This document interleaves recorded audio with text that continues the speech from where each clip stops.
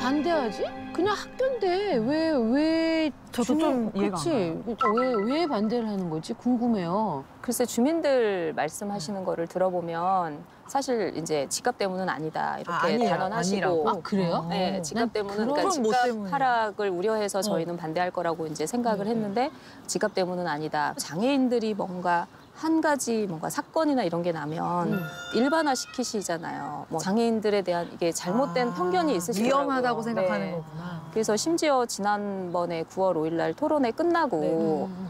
이제 제가 이렇게 울면서 이렇게 내려갔었는데 어떤 아버님이 젊은 아버님이 저를 이렇게 붙잡고 저는 지금 아이가 유, 유치원에 다니고 있는데 비장애인 아버님. 네네네 어, 저를 어, 이렇게 어, 붙잡고 정말 궁금해서 그러는데 저는 이 학교가 들어오면 저희 아이가 마음 놓고 어, 놀이터나 이런 데를 못 갈 것 같다는 거예요. 아 진짜.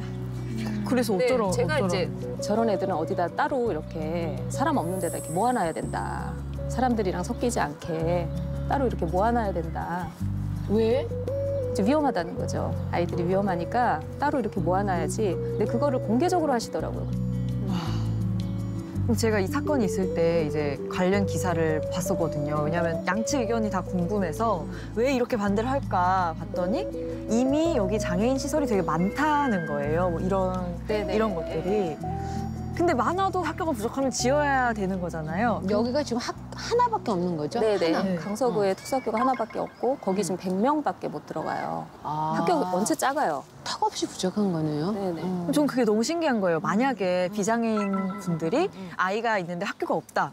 그럼 난리가 났을 거잖아요. 지금 우리 학교 가야 되는데. 근데 학교라는 건 그냥 기본적으로 당연히 가는 다녀야 거고. 되는 거잖아요. 당연히 다녀야죠. 아, 근데 원래 여기가 결국엔 서울시 교육청이 소유하던 땅이거든요. 그러니까 교육청에서 알아서 그냥 할 수 있는 데인데 여기다가 갑자기 한방병원 세우겠다고 국회의원이 약속을 덜컥 해버린 거예요. 약속할 수 있는 자격이 상황- 있어요? 없어요. 그냥, 없죠. 그냥 세울 수 없는 건데 세우겠다고 약속을 하니까 주민들이 어 좋다 좋다 하니까 거기에 힘입어 왔고 사실은 진행을 미미 했었어야 되는 건데 못하고 이제 교육감은 또 거기다가 뭐 주민 공청회를 한다고 했는데 저는 솔직히 그거 보고서는 이거 할 필요가 없는 음. 거였어요. 공청회는 그냥. 교육처에서 밀어붙이면 되는 거예요. 근데 그거 해갖고 괜히 분란만 나고 어머니도 험한 꿈만 당하게 하고 우리 사회가 어떻게 보면 이 정도구나라는 그 각인을 시켜주는 그래서 저는 그게 되게 속상했어요. 예. 그 저는 또 예. 예. 또